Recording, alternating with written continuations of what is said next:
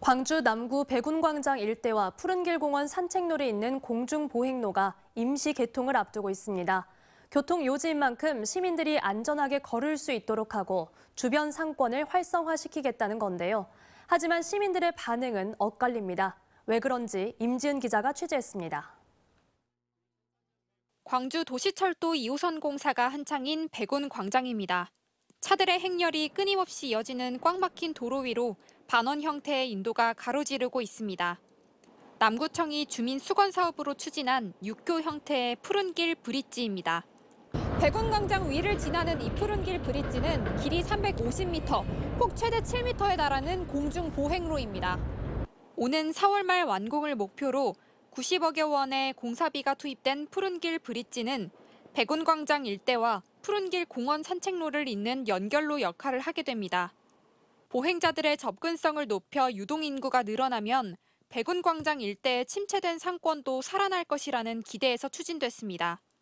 단절된 푸른 길을 이- 연결하는 게 주 목적입니다. 단순 육교가 아니라 사람과 주민이 모일 수 있는 보행 공간으로 만들려고 그동안 짧은 신호등 시간에 맞춰 횡단보도를 급히 건너야만 했던 보행자들은 공중 보행로 개통을 반깁니다.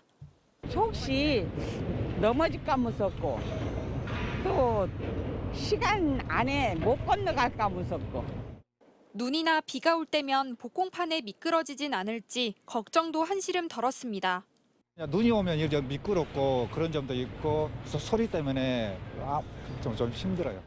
하지만 유동 인구를 늘려 상권을 살려보겠다는 정책에 대해선 여전히 의문이 많습니다. 백운광장 일대에 조성된 스트리트 푸드존은 주차 공간, 지하철 공사 소음 문제 등으로 손님의 발길이 끊긴 지 오래라는 겁니다. 거기에 미치는 이제 파급 효과로 저희 영업에도 이제 좀 음, 긍정적인 요소가 있겠죠. 근데 조금만 생긴다고 해가, 해가지고 과연 얼마나 큰 영향이 있을까 싶습니다. 남구는 오는 2월 초 푸른길 브릿지를 시민들에게 임시 개통한 뒤 야간 조명 엘리베이터 설치를 마무리하겠다는 계획입니다. 공중 보행로에 대한 기대와 우려가 교차하는 가운데 구도심을 살리겠다는 계획을 실현할 수 있을지 주목됩니다. MBC 뉴스 임지은입니다. 언제 어디서나 내 손 안의 뉴스. 광주 MBC 뉴스 유튜브 구독으로 함께하세요.